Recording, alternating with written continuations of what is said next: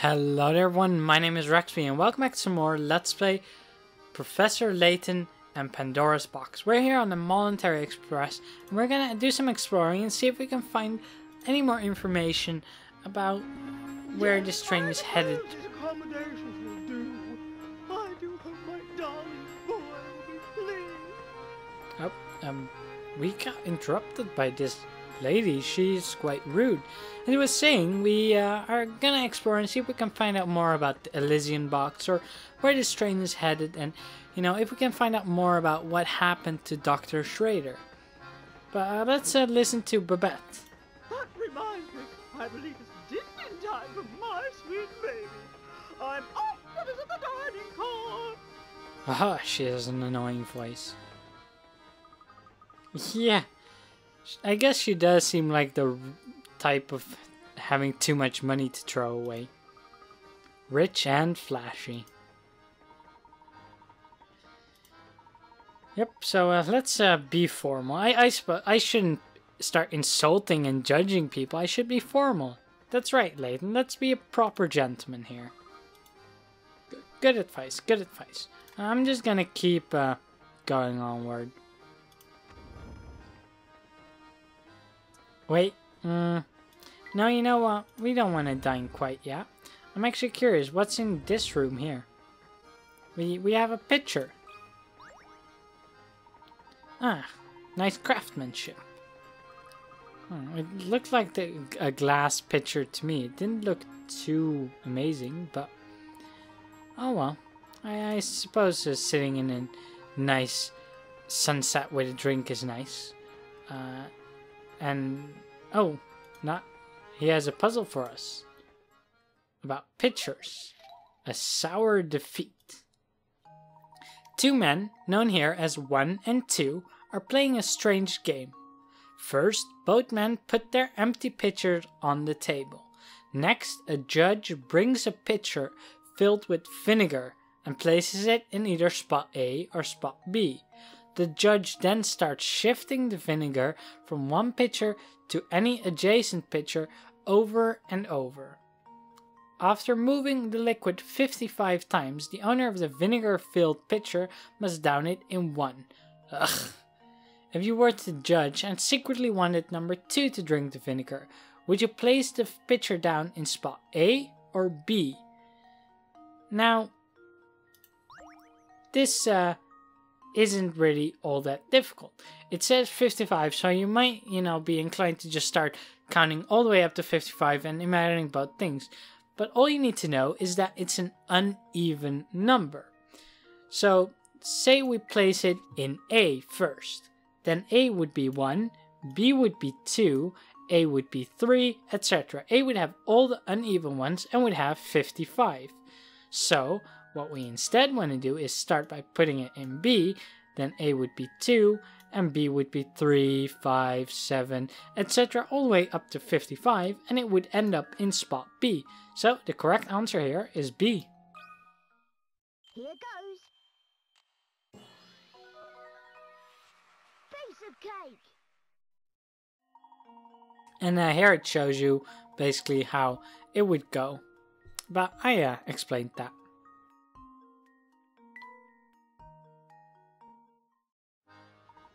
So yeah, that's uh, a good answer, but we probably shouldn't hang around in some stranger's room, especially when they're not there. That that's a little bit silly.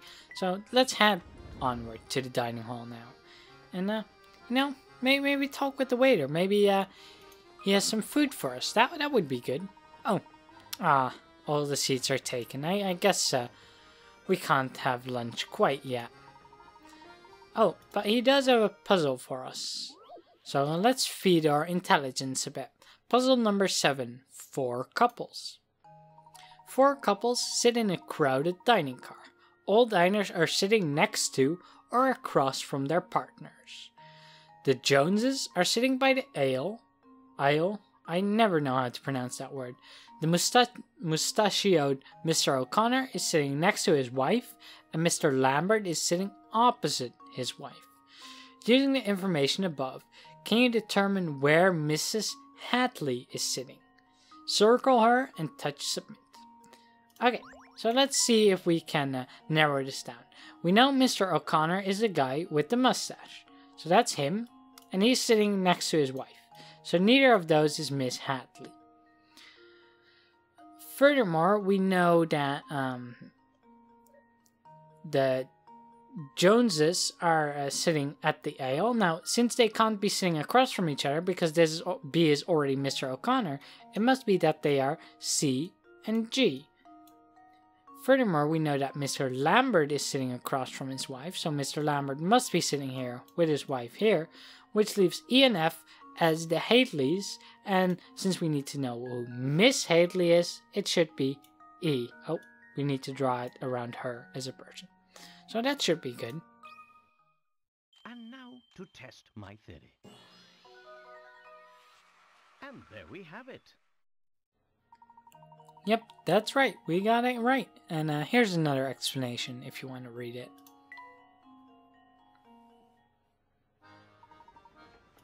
Ah, good. Nothing whets the appetite like a hearty puzzle. Oh, so you make us more hungry. Oh, uh, at least the table became free. Ah, good. Time for lunch. Luke's starving. I could eat too. Oh, what? Babette, you again? You're, you're just gonna sit? What? You're insulted? You are throwing a tantrum. Well, well, well. Spoiled much? Very pushy. Ugh. I suppose uh, we can check out the observation deck while uh, we wait a bit more. But yeah, he did keep his composure, and she was really a spoiled customer. So I I do uh, think he did a good job with that. Although it's still a bit of a shame that she still got her way. But uh, let's go to the deck. Let's see if we can find that. So uh, from here, there are two doors here. There's one on the right and uh, one on the left. Let's uh, go through the left one first. Ah, a lot of stuff to eat. So this is the kitchen, huh? I guess that's not quite the observation deck, but hey, macaroon. Uh, why why can't we have that? What? Our clothes aren't dirty. We're very clean, thank you very much. Huh, I do suppose that he is running a kitchen and he doesn't quite want anyone coming in there. Eh, it's fair enough.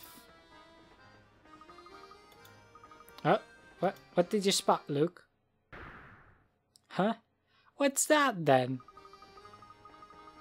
A little pat and you lecture us?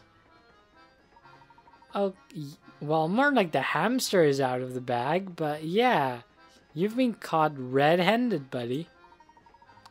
Uh, it's against the rules, alright. But he's your only friend. Well,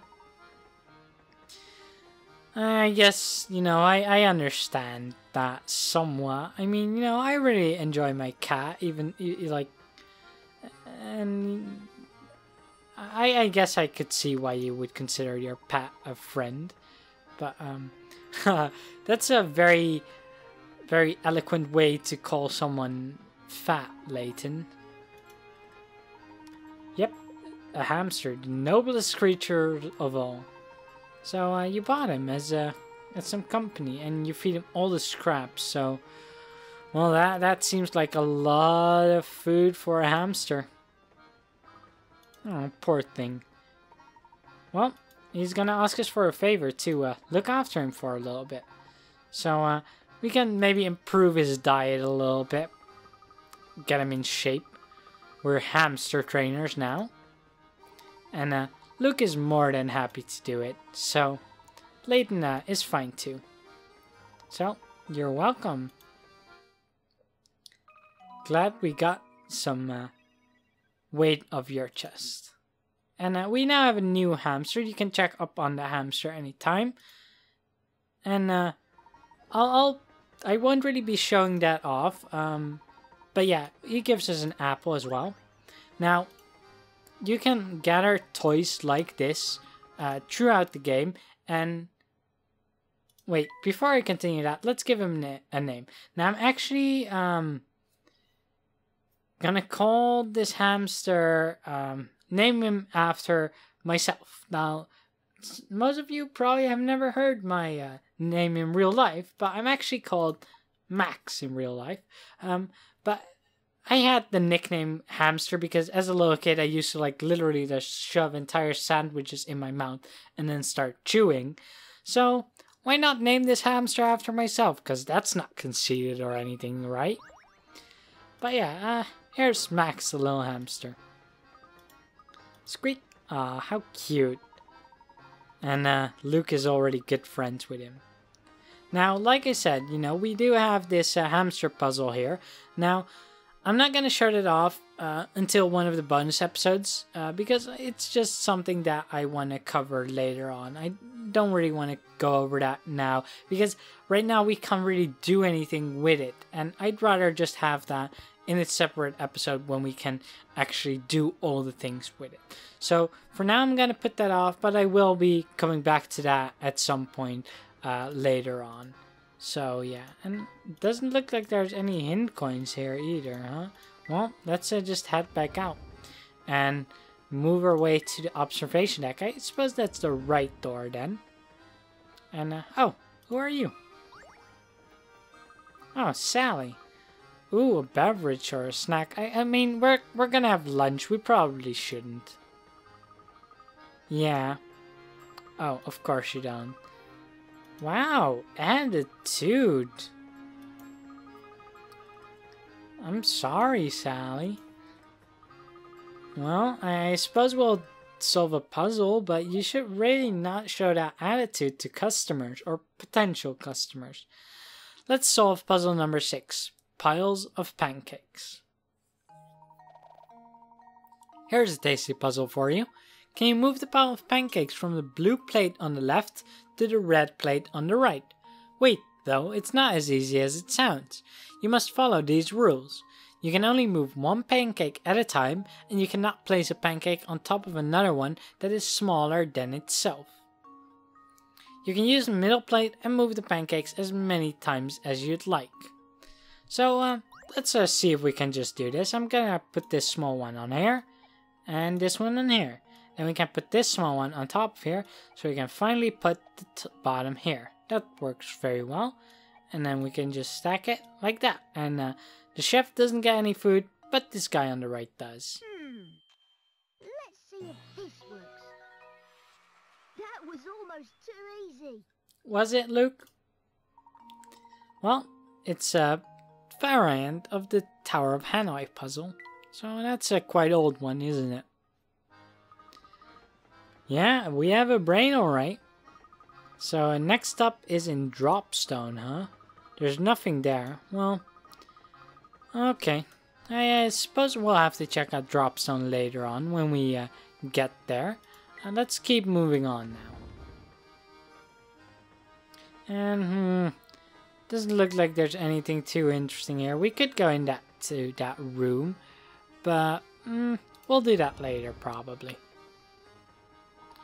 Ah, what a lovely deck indeed. I, I, I really like the view a lot. Breeze feels great.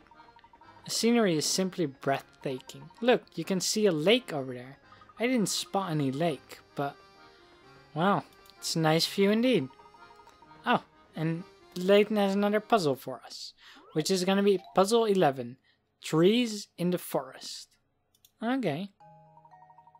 So, the forest below contains four different types of trees. Use the stylus to divide the forest into four sections, each containing one of each type of tree. So, uh, that's pretty interesting, wouldn't you say? Um, I think I'm actually gonna go ahead and um, start at the bottom here. Uh, in the bottom left, we have this one orange tree, and then these two we probably need to draw a line between them because they are quite the same. Um, now that also means that this one, these two are gonna be connected, so we probably don't want that one in there. And uh, then we can draw it like that. And then we have one section with four different ones. Now let's go to the right here. The one above that works, and then if we have these two there, that's four different types of tree. Um, now for the top right, well, it's really quite easy. We already have these three here, and uh, we can just make an intersection like that, and that has four different ones, as well as this top left one. This looks good to me. Here goes.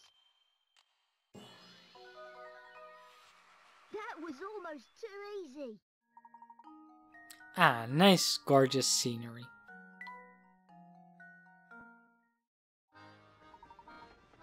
Ah, that's it. Well done. Well, did you expect any less? I, I suppose not. I suppose not. Feels so nice you were forgot we were searching for the Elysian box. Huh. Well, yeah, it did seem to lead Andrew to his death, so we're gonna have to go ahead and solve that.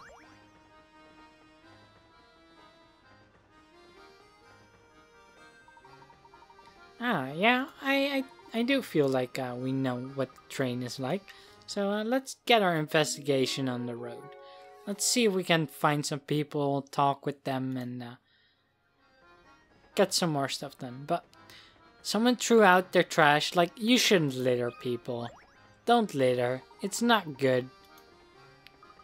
That's just, yeah, you have no manner, no class. So uh, let's uh, take care of this mess. With puzzle number 22, Cleaning Up 1. Put that rubbish into the bin where it belongs. Move the blocks obstructing your path and slide the pile of rubbish into the bin at the bottom of the screen. Now, as some of you guys may know who have watched my first Let's Play, I'm really bad at sliding puzzles. So whenever we come to any of these sliding puzzles, I'll be speeding them up like I'm doing now and just showing you guys the answer quickly. So just explaining this now, if you ever see it in future episodes, it's just going to be sped up footage to save you guys time and to save myself a lot of anguish.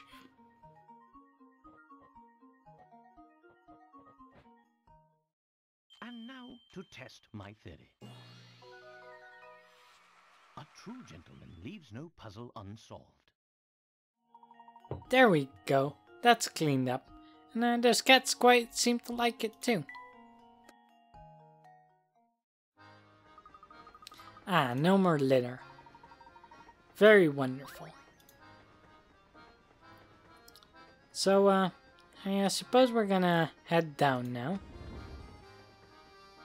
And, you know what? I'm gonna do one more puzzle. So let, us talk with this guy here. Ah, there's nothing like travel by rail to put a spring in your step. I- If you say so. I couldn't agree more.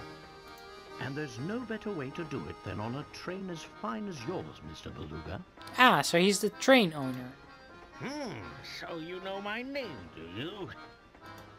But of course, this train and its owner have quite a reputation in London. I've seen your face in the papers more than a few times. Oh, is that so now? I'm sorry, uh, my friend, but I can't say I know you as well as you seem to know me. No, well, you'll know us soon enough because we're Layton. The name is Hershel Layton. I'm a professor of archaeology by trade, but a train enthusiast on the side. And very good at solving mysteries too. I've heard tales of this train's grandeur, so I decided it was time to experience it firsthand. Well, isn't that something? It certainly is a pleasure to meet you, Mr. Layton, was it? A lot of characters in this game seem so forgetful of my name. Oh my, just look at how late it's gotten. I really have to run. Do enjoy your time aboard. Where are you gonna run to? We're on a moving train. But oh well, I, gue- I guess he left. You know what? I'm gonna call that an episode here. So thank you guys very much for watching once more. Please do consider subscribing if you want to see more Professor Layton and Pandora's Box. And I will see you guys next time.